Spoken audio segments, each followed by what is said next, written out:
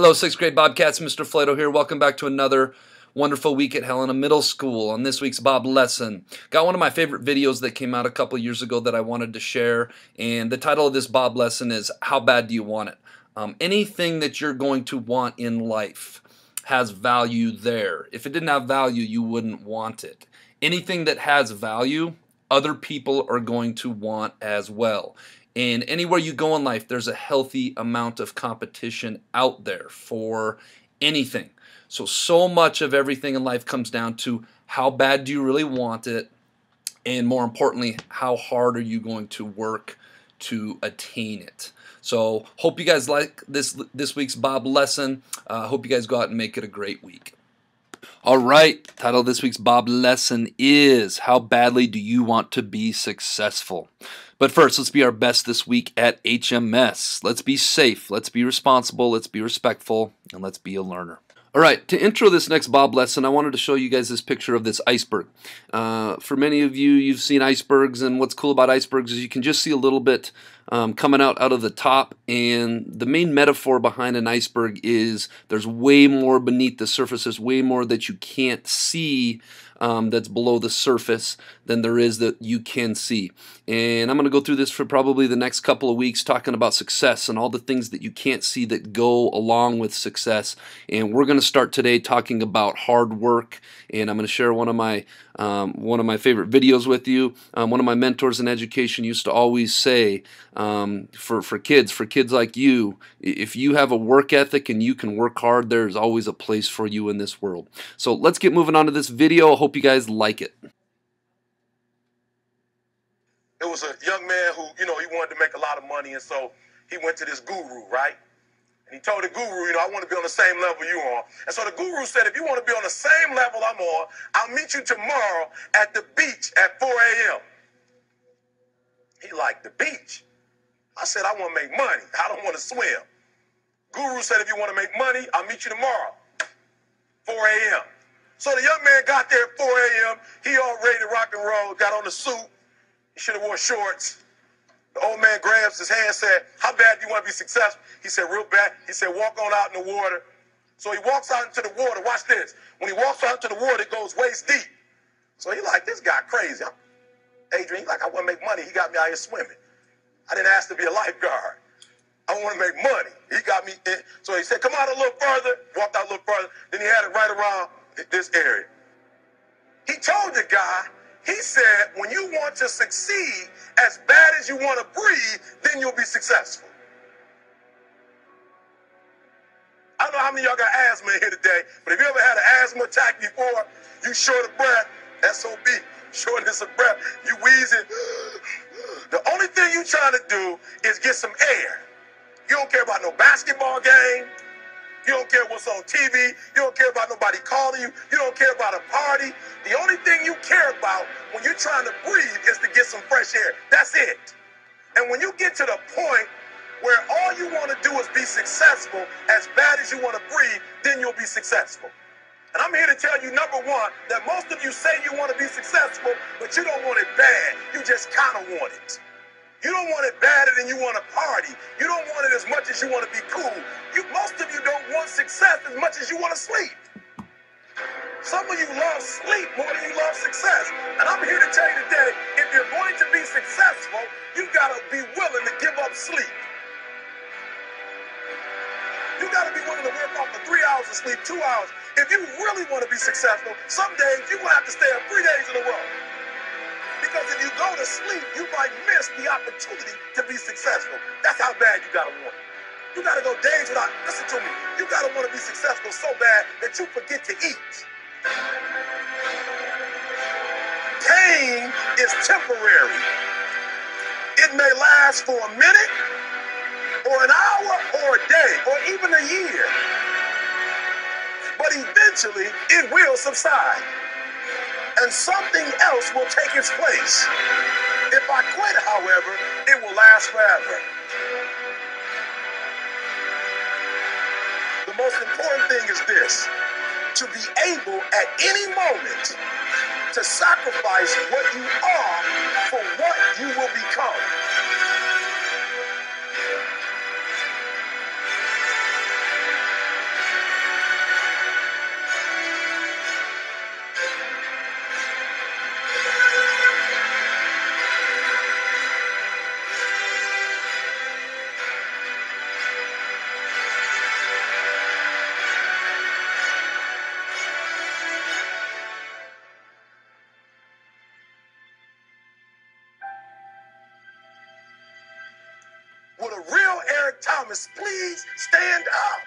Stop being this high school dropout.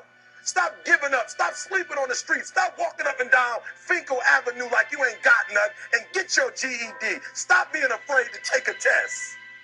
Stop being afraid to go to college because your daddy didn't go and your mama didn't go. Stop being afraid and be the best Eric Thomas you can be. But listen to me, it's going to be hard. It took me 12 years to get a four year degree, but I got it. And guess what? On a degree, it don't have dates. So if it took you four and it took me 12, it don't show up nowhere.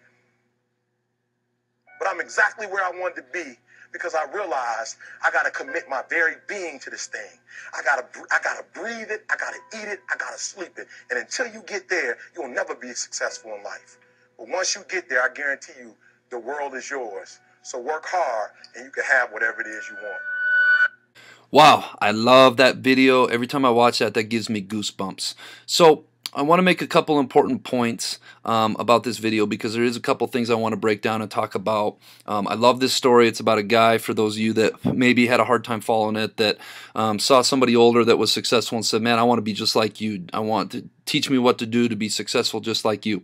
And the guy said, okay, well, meet me at the beach at 4 a.m. the next day. So the guy shows up at the beach in a suit and he's thinking he's going to follow him around, trail him for the day, and, and learn learn how he's successful. And the guy asks him, you know, walk out there in the water, walk a little further, walk a little further, and he walks out to the point where he's up to um, the water is up to his chin, and then the guy jumps in after him and and and puts him under the water, which we should never do to people, by the way.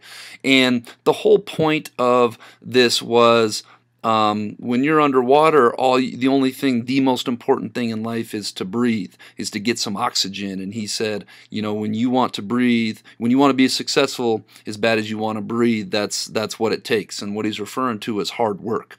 Um, and I want to make a couple points because success doesn't necessarily mean making money. In this video, the money was referenced, but um, there are many definitions of success, and I want to put that out there. Making money in life is not the most important thing. As middle school students, it is important to get 8 to 11 hours of sleep.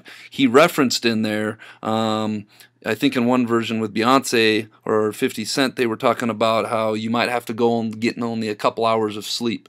Um, for middle school students, that is not healthy. Also, he talked about um, being so busy and working so hard that you don't have time to eat. It is important for middle school students to eat three square meals, if not four or five, every single day.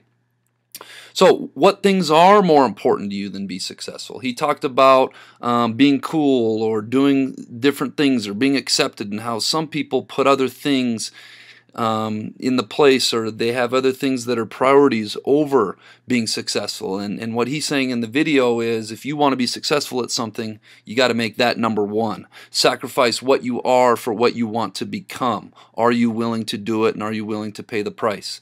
Um, and there's a quote that ended it was commit your very being to being successful. Work hard and you can have whatever it is that you want in life. And what this video was about to me is dedicating yourself to something. Um, working hard. There's no substitute in life for working hard. Um, somebody that was a mentor to me um, in education my first few years used to always say, if you give me somebody that will work their butt off, that'll work hard, there is a place out in society for them. And I'm a huge believer in hard work and dedicating yourself to whatever it is that you want to do.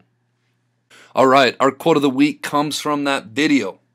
And our quote of the week is When you want to succeed as bad as you want to breathe, then you'll be successful. And I love that quote.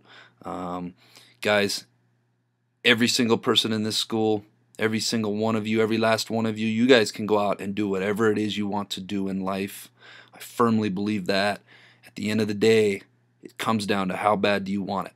How bad do you want to be successful? How hard are you willing to work to accomplish your goals and to accomplish your dreams. When you want to accomplish them as bad as you want to breathe when you're underwater and struggling for breath, that is the ticket right there.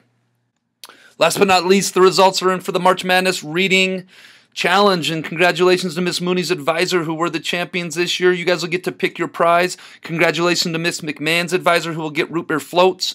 And then congratulations to the consolation, the top three combination of Kepler, Erickson, Semensky, Vedavati, Mr. Hunthausen. And congratulations to everybody that participated in pushing their reading. Reading is such a critical skill um, for school overall. Shout out to our English teachers, Miss Vedavati, Miss Hunthausen, and our reading teachers, Miss Hatton and Miss Kaufman. Congratulations to everybody that participated. All right, that brings us to this week's Jelly Bean Question of the Week winners, who are Keenan Wells, Alyssa Klein, Nevaeh and Naitha, Briar Ford, and Hannah Matash. The answer was 87, and the trick with that one was you had to turn it upside down. All right, this week's Jelly Bean question of the week is What letter in the alphabet contains the most amount of water? If you think you know, submit your answer to the Bob Box no later than Friday and tune in next week to see if you're a winner. All right, Bobcats, let's go out and make it a great week at the Helena Middle School.